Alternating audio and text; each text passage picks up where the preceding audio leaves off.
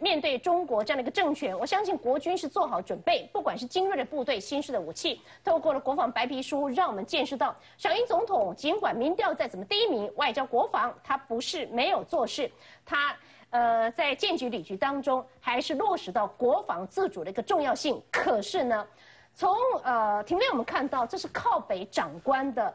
脸书里头的 po 文，就是内政部的议政署署长哈林国演，他耍官威，他是在二十二号下午的三点十分，议政署长的驾驶不配合受检，同时口头威胁。我们知道这些哨兵，这些站位哨的这些阿兵哥，哎，机管呢？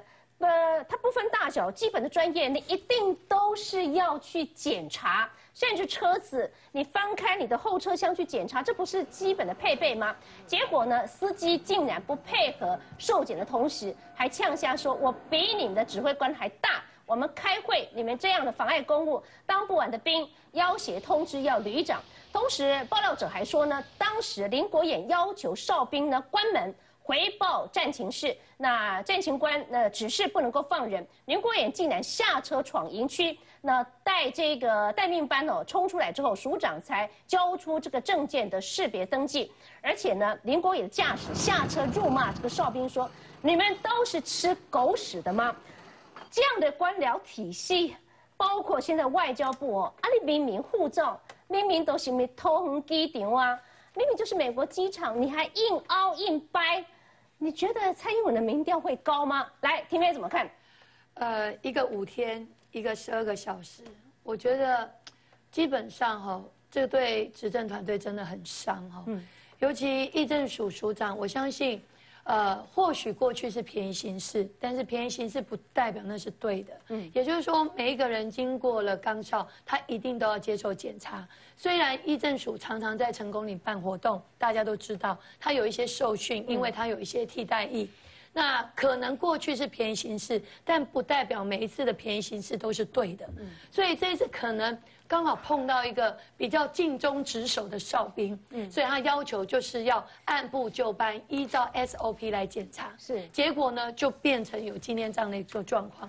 可是如果你明知道自己就错的，而且或许他认为说现在外界的观感没有像过去。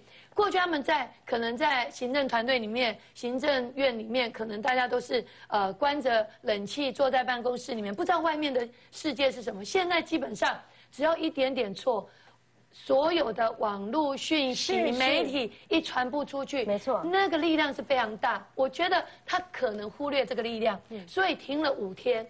然后外交部这个更夸张，十二个小时，错就是错，为什么要硬凹？今天你到底你在护照里面所呈现的是哪一个机场？这个还能凹吗？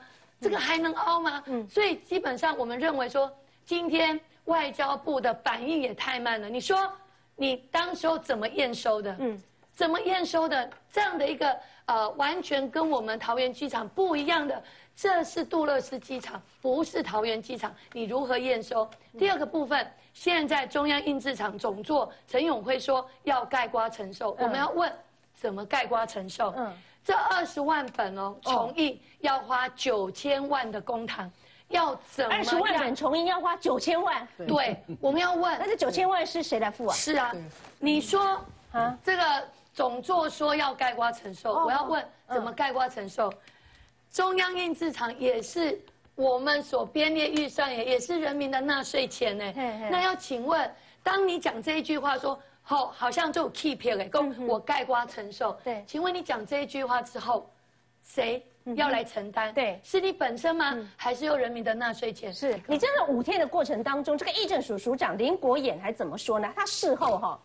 呃，被踢爆之后，你的司机骂这个哨兵，你这个哨兵，拜托你，你天皇，你天子跟皇帝，我照样检查，我还管你是谁？这不是一个基本常识吗？你要肯定这个哨兵啊，我脑子很大，我是我是皇帝，难道你就车子让你进去吗？我们也知道很多的敏感地带，就是因为 pass 非常的放松，里头。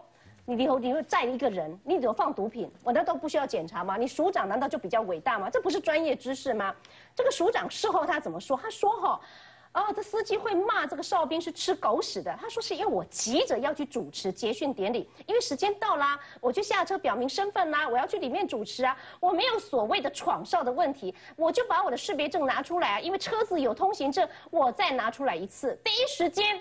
他还指责这个哨兵哦，执行。他说哨兵执行是比较偏差了，当驾驶口气不好那是驾驶事情，我有要求他改善。哎，这就是我们的官僚呢。来，于荣怎么看？我觉得上个礼拜这个林国演署长，他的这个他即便他自己没有口出恶言，是他的司机，但是他其实在第一时间在周一的时候，他有做一个澄清。我觉得他的澄清也是非常的，他就说，呃，他为什么会比较急的原因是他觉得过去啊。议政署的这些同仁每次要呃进去成功岭的时候，常常都被刁难。那我想请问，你被刁难，议政署的呃同仁被刁难，难道你就要对第一线的承办人员，他只是在执行他的业务，你对他刁，你对他这样的呃言行有用吗？你对他这样子呃颐指气使的有用吗？那再来这些这个司机，我就想说呃。司机他其实他他口出恶言，然后他的长官竟然还用有一点想要帮他包庇，然后想要帮他说话。我觉得呃第一线的执勤人员，我们应该了解他们的辛苦，不应该再把所有的呃旧责不呃应该放在这个长呃议政署的官员身上。所以他其实职务的调动，我觉得是非常应是非常妥当的。但是我们反观外交部，他其实五天之后才出来做澄清。那我们看这个照片就知道。这个是我们桃园国际机场，这个是美国杜勒斯的机场的外观，它上面有多了一个这塔台，这塔台一看就知道，而且美国杜勒斯机场它是连侧边都有这个玻璃呃玻璃窗，我们的桃园国际机场第一航厦是完全没有这个玻璃窗。然后这个护制那个护照这个错纸的部分，现在印制厂说是我们美工画的。他说是美工化，而且我现在盖瓜承受。我看上午的时候，那个外交 外交部领务局的副局长，他在开记者会的时候，他竟然还说，我因为我们是从网络上面看到了照片，所以我们也不知道说为什么呃中那个中央印制厂印出来的时候会有这样的错误，因为我们也是从网络上面看来照片，我们就觉得整个网络有很多是假的。对啊，网络有多少东西是假的？难道你们在每一次的发行，你不用定稿吗？我想。连这个小的单位，我们出来做每一次的呃新闻稿等等，我们都一定需要定稿嘛。嗯。连一个外交部拿的护照，护照是国家的门面的。我们到各个国家去做通行的时候，护照是国家的门面，难道你不需要定稿吗？然后卸责给合作的厂商，这到底是浪费公帑？刚刚委员有说两二十万本是九千万，其实一百零六年他们是编制编了。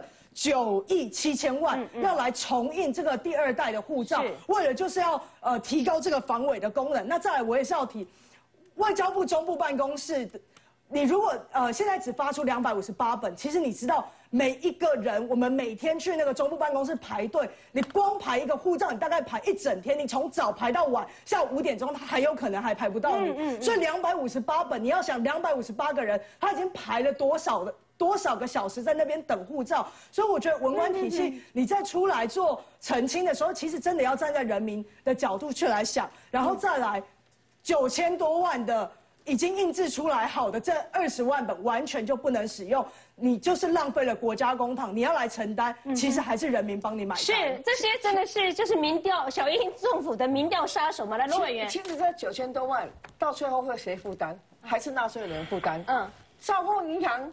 当时赔了五十七亿啊，谁负担？还是纳税义务人负担呢？所以为什么今天为什么整个文官体系会出问题嘛？大家有说过嘛？刚刚那个国龙要讲，政务官出问题，他负政治责任下台嘛。嗯。可现在事务官出问题，有没有责任？感觉上好像有责任，其实是没有责任的。你今天出了事情以后，官官相护嘛。嗯。你说啊，我稍微先把你调一个职务，调一个职务，他只要沉寂个一年。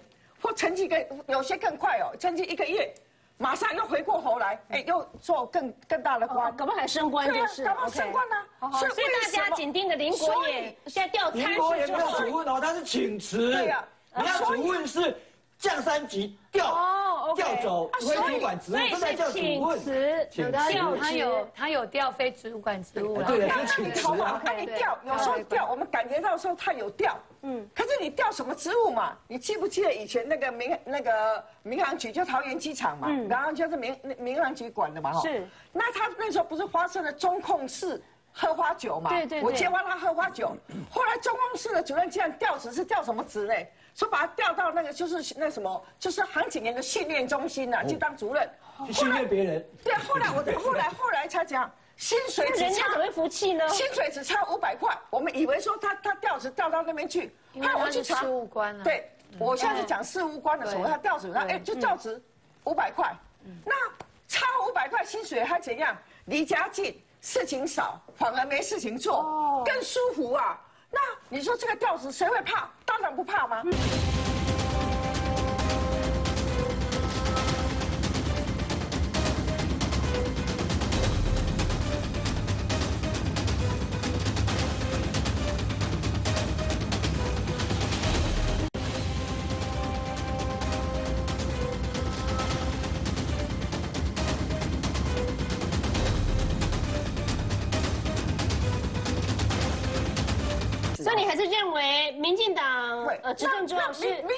党轮替，是不是？我现在是讲，就说这个是长久以来，从李登辉时代、陈水扁时代、马英九一直到民进党，都怪罪说现在整个都怪罪现在执政的小英。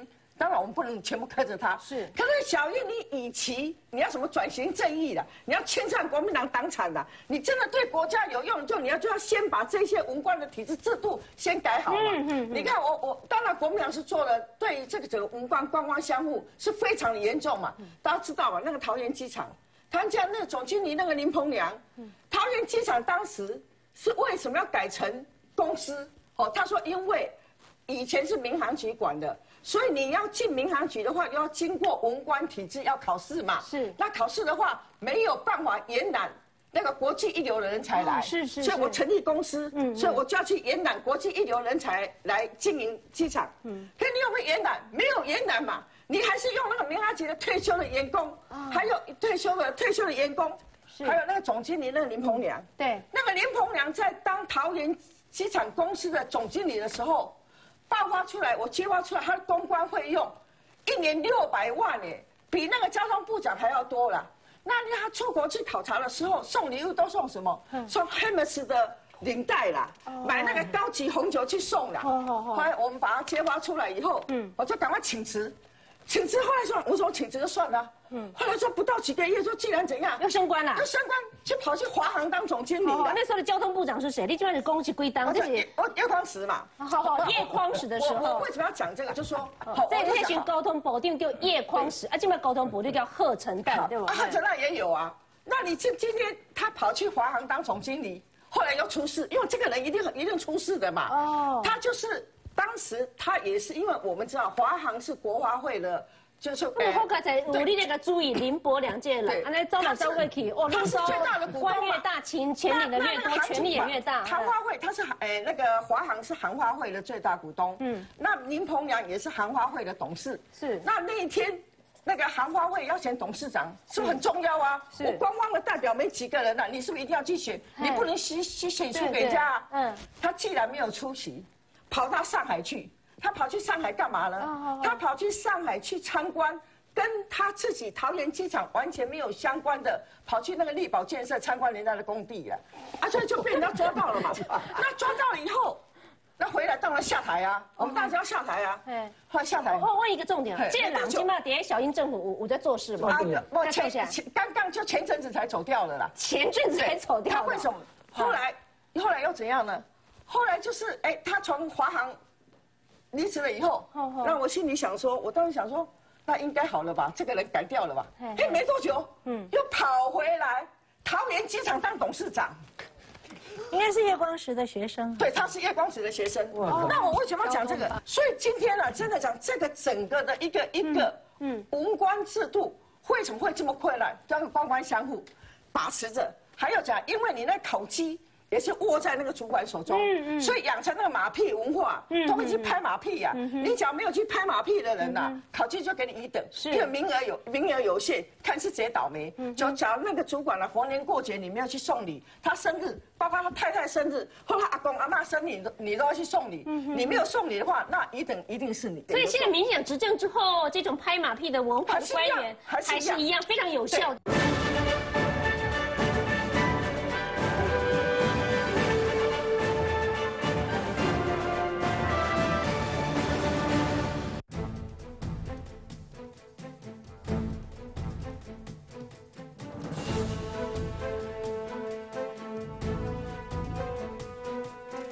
那一天谈到功德的问题，其实已经经过一个多月了嘛，你应该看得比较清楚。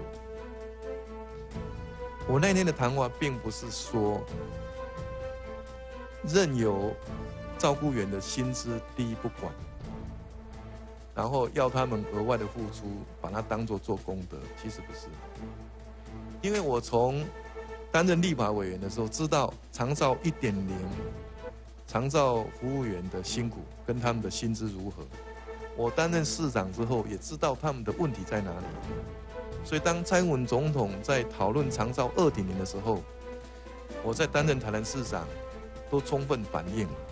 所以我知道蔡英文总统所提出的长照二点零，他的照护员的薪水已经提高到三万二以上。所以我那一天有讲，就这个薪水会提高到三万二以上。那你还要看看你的工作，你渴望三万五、三万七，甚至于四万块都有可能。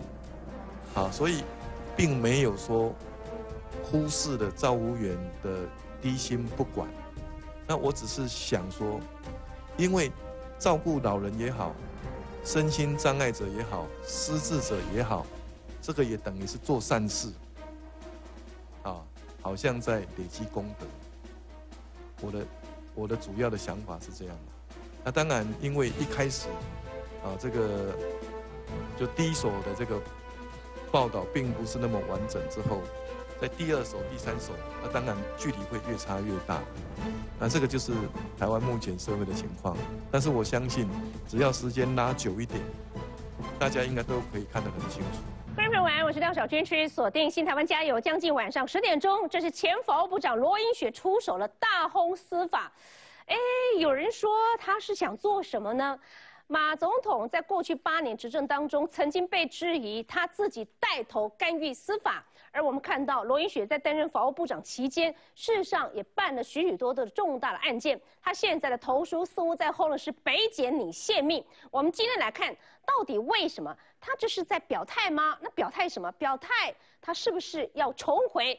马英九所涉及的官司的律师团队吗？我们不知道。等一下来看这份投诉的泄信的内容。当然，一方面要看的是，要检方现在追的是光华投资六点五亿元的流向。办马英九总统的三重案当中，已经面临到什么接近收网的阶段吗？这是今天的《镜周刊》，《镜周刊》再度把它列为封面故事，检追光华投资六点五亿元流向，查的是什么呢？于建新买中式的资金来源。他的导言写得非常非常的具体，我们看到从中视、从中广跟中影到底应该怎么看？当然，刚刚特别提到的是，呃，有关于习近平的最新状况，金报腹痛住院之后，原因竟然是他屡屡遭到暗杀。导致于他的精神紧绷、压力状况低下，在平安夜住进了医院。现在是不是有最新的发展？当然，今天我们特地邀请到两位重量级立法委，一个是来自于台南非常优秀的陈廷飞，还有来自于高雄很优秀的管碧玲委员。花妈的心内话。投下了高雄市长初选的震撼弹吗？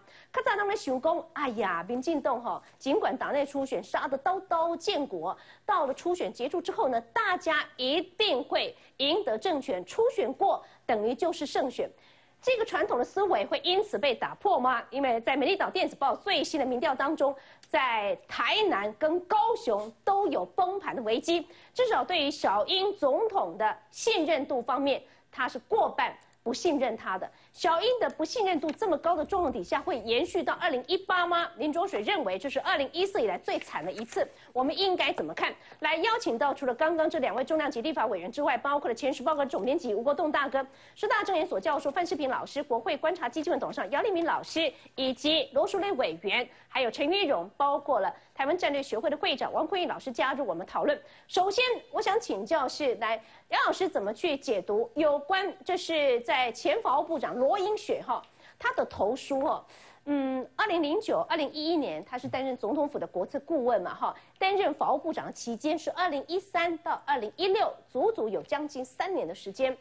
他说十九号，新党四位青年军大清早突然被登门搜索、具体侦讯，剪掉手段之草率粗暴，令人恍如置身于独裁君王高压统治之警察国家。好。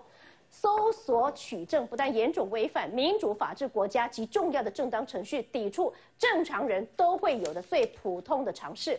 好，他特别提到了什么呢？证人既未涉嫌犯罪，且要求协助办案，出庭还应支付旅费，自应以礼相待。怎么不仅没律师，连看法律都不行，还长时间疲劳轰炸，地位比被告还来的不如？我们看到，在接下来他还特别提到。侦办中的案件，尤其跟蓝营有关的，常常出现极其荒谬、错乱的现象。检调总在侦讯结束时，向被告、证人等郑重强调：侦查不公开，任何侦讯内容皆不可以外泄，否则会追究泄密罪责。然庭讯后，名嘴、明代媒体马上大爆特报，很多侦查卷中的细节被刻意扭曲、夸大、渲染。制造对特定人士或政党不利的氛围，检察官既不澄清更正，还还给当事人公道，更未追查媒体资料来源，就办泄密者，只将侦查不公开当成对付被告证人的紧箍咒。他说三宗案呢，例如电视跑马灯不断跑着，张哲琛收受五百万元的礼盒，真相则是张哲琛看到水果盒里有五百万元，立即退还而录影存证。检察官心知肚明，却对媒体断章取义、误导大众视若无睹，好像还不准当事人喊冤澄清。来，他说，身为前法务部长，很想、很不想如此批评昔日部署，毕竟只是少数人作为。但是写下此文呢，内心沉痛之极。那我请教姚老师，怎么看一个曾经担任过法务部长罗银雪如此的炮轰，尤其是北检，你泄密哦？来，姚老师怎么看？他根本没有资格的做法务部长，他也没资格批评。我就举一个很简单的例子，黄世明泄密，那是众所瞩目，也是被法院定罪的。当时北检都已经起诉了，检察官都已经起诉黄世明，然后舆论就要求立法院要求黄世明是不是应该加以处理。当时任部长的罗英雪怎么答？当时他答说：“这个泄密不是重要的事，不是重罪，不需要处，现在还不需要处理。”他自己亲口说的。哎，泄密不是重要。他今天居然写大篇文章，说检察官有一些讯息被司法记者透露出来，嗯，然后这个泄密就认为司法已经崩溃，这简直是完全是见人两套标准。只要是马英九。黄世明、蓝营，像是新党的这些事情，他立刻就是一种法律标准。这这不是一个做法务部长的条件呢？你应该是完全一致的，有一个标准呢。马英九的案子，其实现在已经不是今天北检透露出来，而是许许多多的媒体交叉的，因为不北检如果。这一个呃呃呃，如果真的要透露的话，像以前《晋周刊》《一周刊》所谓的保利达曾经出到中视十二亿元，不是是来自于罗淑蕾委员权威的消息，北检才去查，甚至还搜索的中央党部哦，是来自于权威的消息哦。而且罗一雪根本不不清楚，他自己现在硬指说检察官要求当事人不要泄露。可是事实上，是不是当事人泄露也不知道？是因为你要晓得，知道案情的人除了当事人，也可以有许多其他被告的律师，他们调卷也好，等等等等，他都可以知道内容啊。今天，今天这一个呃，汪海清也好，张哲生也好，许许多多被。被传讯的人，他们都知道内容。于建新也被传讯过，他也会出来说明他传讯的内容被被聆听的录音带呀。是，所以这些东西都陆陆续续已经经历过这个案子的人，恐怕不下三五十个人。嗯哼，可能听过录音带的人，可能都有十个人以上。嗯哼，他也会，所以当时我讲举一个例子啊。说张泽生这里讲张泽生五百万，嗯哼，对。事实上这个消息，嗯，有中央党部另外一个消息出来啊，是说这个不是五百万，是一千万。是是是，现在最新消息说是一千万，对啊，说一千万是因为党部早就有人耳闻。那那个，请问这个跟北检透露消息怎么关？北检有泄密吗？当时北检根本没有传讯马英九的时候，就从这外面就有消息说于建新送了一千万给张泽生，这还不够清楚吗？是这个罗英学以为这些消息都只是因为马英九传了以后出来的吗？这完全太小看了这个其实媒体了解新闻的背景的多样性跟多元性。所以现在三宗案件其实已经非常完整了，嗯，四个层次大概只有一个层次需要再加以厘清。其实马英九已经，我必须说这个离这个看守所已经时代不太远了，因为现在只差一个。你的判断是什么？为什么？因为只差一个金流，因为现在四个大证据嘛，这个四个证据是非常清楚的。我早就说了，帝王证人。都具备了帝王证人跟帝王证物，嗯，这两个是互相配合的。是帝王证物就是那个录音带，居然山中案隐藏了十年的录音带，被检察官突破心防，被被交代出来。王海清说：“我曾经有全部都有录音带，是，然后去把它搜出来。当时第一时间收的时候啊，第一时间收的时候。”检察官为了要保保密，故意对外讲那个是消磁的，根本是我要还原才知道，根本不是嘛。哦，汪海清已经录了录音带，可是各位都知道，刑事案件录音带不能当做单纯的证据，是，他必须要成为旁证，有证人证实录音带的内容。所以所有有关录音带的内容，他询问过汪海清，询问过张泽生，甚至于询询问过蔡蔡正元。是。说有关这个录音带的声音是否某甲某乙某丙，是不是当时的背景如何，他都要询问过证人。所以录音带跟证人已经对照，对照一个结论：马英九在主导三中事件，也就是打脸马英九。从过去十年来，一直否认说他三中案都不知道，是中投公司在做，张泽生在做，他不会清楚的。是，可这这两个人证明，这两个人不是外人的。嗯，这两个人就是他说交办的两个人。可这两个人不约而同的说，就是他在做决定，就是他在处理，他在主导。是，那你有什么话讲？然后录音带又证实他们俩说的话，所以这帝王证据、帝王证人都有了。现在。更缺，然后他还要到党中央去找其他的政务，到党中央去找党产会开会的时候有会议记录，马英九在会议记录上里面也是主导的，那你就可以想象，看到所有的证据已经逐渐的整合起来，嗯当然，这一个呃迟早还要再传讯马英九。对他做一些处分，哦所以从这个角度上来看，其实三宗案子是现在只差一个金流。这个金流的意思就是，明明于建新没有钱，他的钱从哪里来？是是，他定他原来的四亿，要交给中国呃中国国民党的四亿，他是向日月光掉的票子，结果日月光把票子拿回来，没有借他，没有借给他，可他后来还是把钱付了。请问他钱从哪？是不是根本就是假的？国民党通过光华给了他，再转回来给国民党。如果是这样子，就整个案件就明朗化了，也就证明检察官想要确认这整个贱卖有可能是假交易。这所以从头到尾，马英九是在主导这个三中案件这个事情，其实已经无法摧毁了。OK，呃，接近收网的阶段吗？呃，半马帝王证人、帝王证据是不是都几乎已经都到位的同时，那我们看到在此最新的一个状况，因为马英九总统事实上要求要移转管辖。有关三中半岛，这是目前为止最大的一个动作。那再加上了，呃，罗英雪她所任命的法务部长，我印象是没记错，罗英雪曾经帮马总统打过官司，余文案的律师会不会就是他？所以现在一个法务部长他退休之后，突然间来这个大动作，是在召唤说我可以。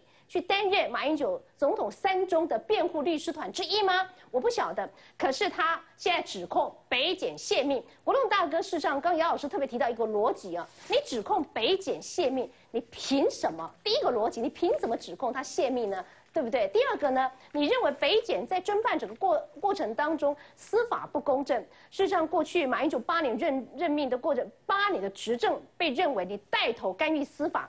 司法沦为政治工具，他过去在八年政权当中办哪些案件呢？你记不记苏志芬戴上手铐？还有呢，被办的还有谁呢？像许天才等人，到最后通通无罪。来看这个 VCR，国栋大哥继续帮我们做解析。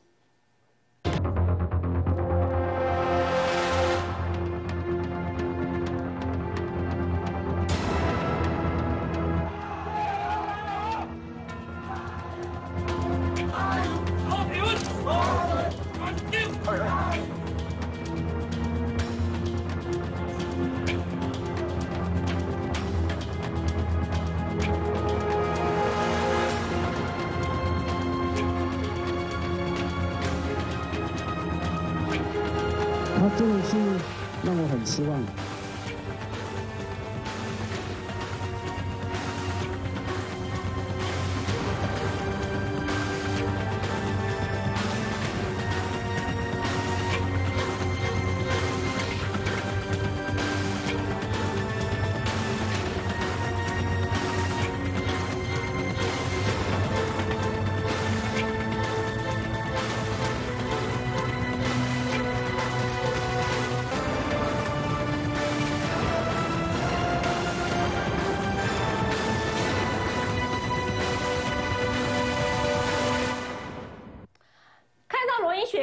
的出手，在看到在马政权的八年的过程当中，司法怎么沦为政治工具，现在的批评应该怎么看？来，国栋大哥，罗英雪如果今天是以律师的身份来谈论侦查不公开，谈论检察官办案的程序正义，我们也许可以接受，大家来讨论一下。但是他今天以前法务部长的身份投诉的话，其心可诛啊！真是其心可诛。你凭什么以前法务部长来谈论这个整个侦查不公开、程序正义整个问题呢？你在法务部长任内有没有改革过你们法务部的这些政务？你有没有办过一个检察官在泄露侦查秘密办给人民看？你有没有？现在小英，你先看他的履历表。嗯哼，从马英九当选，二零零八当选，他的所有职务全部都是在马英九任内。是是是，OK，没错。交通有交通帮，嗯，金融有金融帮，这难道不是司法帮吗？现在司法帮在反扑，我一再提醒，马英九开始控告要按铃的时候，他那就已经采取动作，一声令下，所有反扑动作都出来了，嗯，包括陈长文也写文章了，罗英雪现在开始投诉了，整个密集，现在。法务部，你检察官系统，你人要承担起这个压力啊！你承担不起的话，你一退缩的话，人民对这个司法改革真的是没有指望了。嗯，所以我们今天来看到他讨论东西到底有没有讲出问题出来。嗯，他讲出什么东西？今天所有大家在看这整个案子的发展的时候，除了检察官你必须要有个明确的交代以外，大家要维持这个程序正义。但是你们长期霸占司法界的这些人，你们真的有对司法正义有过下过努力没有？没有。民进党被抓的这一整串，被起诉的这一连串啊，我印象很深。民进党还成立一个小组，叫做什么检察官什么什么不，呃，坏检还是什么好检小组，好像由黄帝营律师破检破检对对对，司法记者会破检小组。嗯，后来破检小组也越后来也越来越没有力量了，因为实在不胜枚举这么多。但是我提醒哦，个别被追杀、个别被起诉的那些当事人，绝对不会放过的。包括我们所知道这些大佬，哦，陈这个苏志芬，那个陈明文，还有那个许天才，还有包括那个吴理培，吴理培，他怎么甘心啊？还有谢谢清志，他们怎么可能会放得下这个司法迫害呢？但是到今天为止，罗英贤没有一次出来交代，甚至向这些当时办案不对来道歉呢。是，他今天竟然还有脸投出谈这些事情，我真是。大为都大开眼界。所以呃，在三中案如火如荼在办的同时，你看到这是今天的《镜周刊》的封面故事哈。地检署追查三中案当中，首度派员进入国民党的中央查阅党产交易史的中常会记录，还密追前中石集团的董事长于建新所买的中石的资金来源，紧急向银行调取国民党光华投资的银行账户资料。其中可疑资金高达六亿五千万元，流向不明。因为中石集团当时财务非常差，为何可以拿出八亿九千多万元？是否与光华投资的金流有关？有待检方。比对厘厘清，三中案在罗英贤当法务部长里面已经告了多少次？总共在罗英贤的手上有一百五十几件在他任内的特征组全部都圈结了，在他任内的北检也牵结了很多马前总统的现在我们去说说证据一样一样出来。当然，作为曾经在中国时报工作过的一个老记者，三十年来非常不舍也很痛心呐。当年中国时报。老老老板余继忠先生把整个集团交给他儿子的时候，做了两样很错误的投资。嗯，一样投资就是网络，第二个投资开始要进入立体。我我印象中是十八亿买中天。嗯，从那个宜平海那时候中天是好像在东风街一个地下室里面。是。当时大家就觉得说值不值得？你去买这个值？当时开始在做的时候，大家也也许说中国时报要转型，但是财务已经发生困难。包括我在内，都已经一直被劝说赶快退休了，赶快退休。那时候提出来是优退优离，就是你现在在二零年开始，二零零零年开始，已经财务在走下坡了。是到二零零二年的时候，鼓励你退休，给你加发五个月。中国说好的时候，那你二零零年已经走下坡，二零零二已经实施优退，到二零零五、二零零六，怎么还会有这个还会转向去买中式，而且刚开始的时候，他是包裹三中哦，是三中是卖给他哦。他有两个很好的朋友，有这个财力。当年呐，嗯，一个就是日月光的张张董事长，一个是孙道存。那时候孙道存还没有败落的时候，那时候有这个财力，他跟他们是非常密集、非常密集好。他要调要周转，应该有，应该够。是，但是跟杨老师讲，这个是一个很基本的问题，就是说这是个假交易。于建新终究是一个人头，他只是过个水而已。所以不舍心动。他现在在查，如果他愿意讲出这个真正查于建新买中式的资金来源哈，配合国栋大哥曾经在中式报系的证人嘛。对，来，所以罗淑蕾委员查于建新买中式资金来源，依照目前北检所办的方向。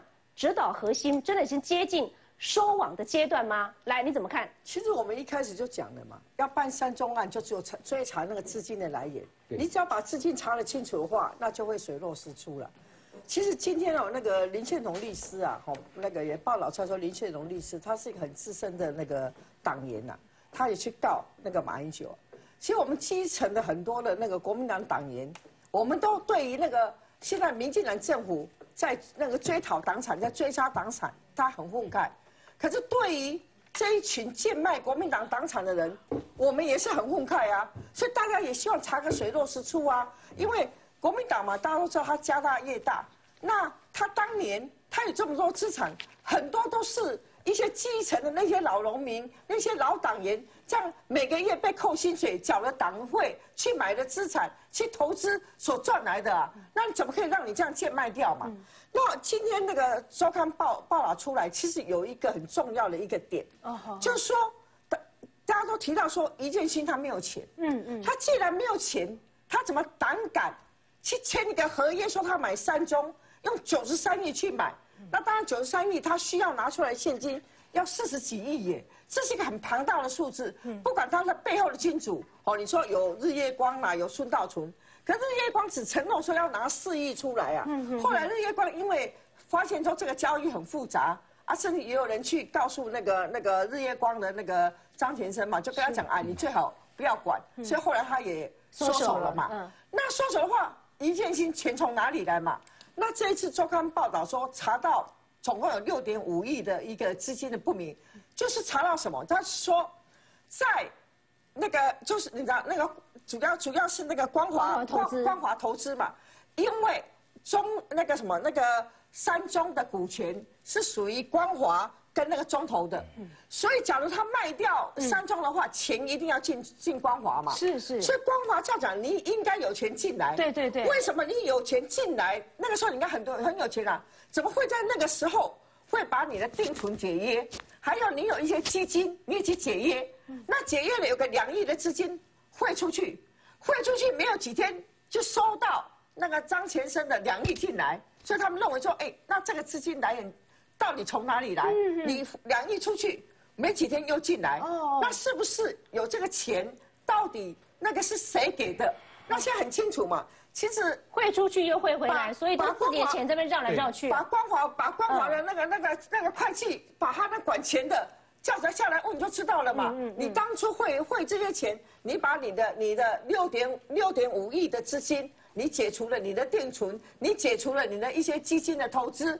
那拿到哪里去嘛？嗯，你那时候在卖资产呐，卖资产是有的是钱呐，你钱要进来啊，那你为什么会去解约这个钱？所以真的，你只要这个资金的流向查清楚的话，那就可以一目了然。嗯，那那在这一个很重要一点是说，我们大家都要提说，为什么当那个那个一建新他违约付不全付不出钱出来的时候，那为什么？不就给他检验掉了？为什么还是要给他？干嘛还要把中式给他啊？为什么还要那个？因为当然，他们因为那个汪海清跟跟那个张泽生讲说，因为一建新是马英九找来的，所以一定要给他清点要给他的。对，所以一定要给一建新。那还有更离谱的是说，天底下哦，没有没有这种卖卖资产这样的卖法。我有时候在讲说哦，像我很多我们公务人员呐。还是国民党的很多那些高层的党工啊，当他在争他的权利的时候啊，都绝顶聪明，非常聪明。可是当他在一些一些那个什么投资案呐，或是说一些在买卖买卖资产呐，包括我很多公务人员哦，跟很多的民间机构签的那些合约哦，你再看不下去，都是你在跟一些跟你有利害利害相关的一些合约的时候签订合约的时候，都笨到极点。嗯哼，你怎么可能说？一毛钱都还没有拿到，就把所有的股权都过户给。一件新嘛，是是。那当然有人讲说啊，是不是怕那个党政军条款？哦，到节几日赶快过户给他。也不会急的，换工跟起工跟工跟，他没有付钱的时候，他没有付钱，拱手让给人家。他没有付钱的时候，你是不是要拿回来？所以不太可能嘛。来，官员怎么看这样的一个发展？我刚刚刚小军讲的一点，我觉得很有可能啦，就是说罗英学他怎么跑出来了？然后他讲的话，其实就是替马英九的策略再重复一遍嘛，哈，就是骂北检嘛，侦查不公开，然后替他的移转。管辖来来来来说明，然后如果没有移转管辖，最后把他起诉，那就是有问题嘛？啊，就是政治迫害嘛？哈，所以很有可能就是说，呃，罗英学他。呃，很可能准备着说，哎，我可以替你辩护，再准备。其实也有一种可能，嗯哼，就是马英九已经知道不行了，所以他慢慢的已经在整队，然后罗英雪已经帝王律师团已经站到帝王证人、帝王他的发言人的角色 ready 好，嗯，对，因为国民党里面有有声望、有名望的人、有地位的人，没有人愿意替他好好的讲话，那发言人又没有威望嘛，所以像罗英雪这样的人来作为他的发言人，替他带风向，那罗英雪确实是如国栋兄讲的，他最没有资格。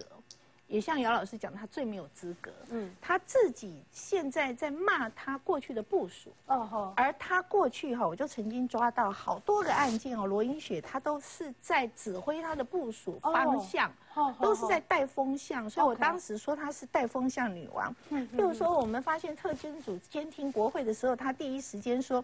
特征组应该没有监听国会的主观意图，嗯嗯，好，他就带风向了。然后，譬如说，当时学生学运的时候，嗯，要办学生的时候，他就要求依法处理，不可以因为学生的身份就有两套两套标准。是。那柯文哲的 MG 一四九的时候，他也说应该要赶快去这个这个侦侦办，哈，要去调查柯文哲。是是。所以他是一个非常党性。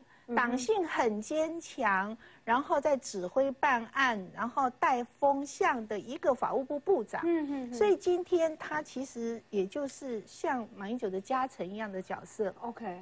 又出来指三道四，嗯，我觉得是完全没有说服力的。是，大家听飞。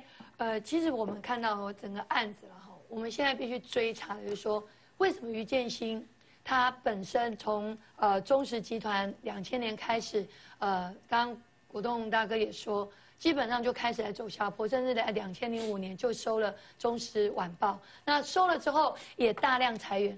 那大家看，两千零五年都这样的一个状况，为什么在两千零六年有办法有那么多的资金去买所谓的我们现在所看到的呃整个它的一个一个呃这个中式的部分哈？嗯，那其实我们看到说，最重要的是，为什么光华投资你原本是应该要纳入来，因为他卖了股票，嗯，你应该资金要进来。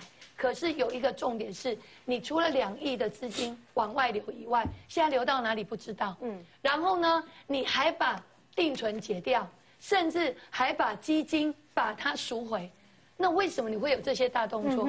你光华投资，你应该是卖股票是在收钱的人，结果你居然又在做往外六点五亿，不要流到哪里去？这是一个部分。然后还有我们看到汪海清，为什么这个录音带？会曝光，我们认为说，这整个过程当中，汪海清一定要自保，也就是应该是有一个重要的证据，已经直指马英九在整个案子当中，跟汪海清还有刚真张哲生他们整个的过程跟他的主导，所以汪海清他一定要自保，否则他怎么可能把这个录音带拿出来？我们看到光华投资，他为什么？在这整个过程当中，原本要收进来，现在又六点五亿往外流，还有市政、国民党中常委所有的会议记录，还有党产的交易记录，我相信这些都足以证明说，是马英九在整个案子当中，绝对不是一个路人甲、路人乙，而是有足直接的一个主导权。四大铁证、帝王证人、帝王录音的同时，告诉你一个最新消息。刚刚特别提到，议政署署长请辞获准，对不对？那有关护照出包的问题，外交部的领务局长也确定下台。好，这是我们录音同时所发生消息。那在新闻的最后，有关习大大的事件，王老师在最后，你认为这个新闻的准确度还蛮高的？后续怎么看？因为现在中国内部的氛围的确有一点点怪怪的。有没有可能在动荡不安当中，鹰派因此抬头，对台湾转了更强硬的态度？有没有可能？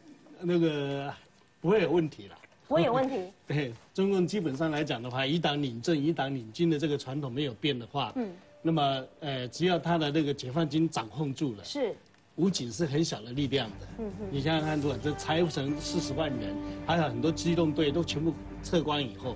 这些人是不可能动摇得了这个习近平的，是，所以我们看到了很多这种暗杀，那一些也许是真，但是都是各种不同的传言，但是会有，但不见得会影响到大局。OK，任何的一个从古到今啊，任何的暗杀能够影响大局的，几乎很少见到。是我们来持续关注，好不好？非常谢谢各位，我们再会了，拜拜。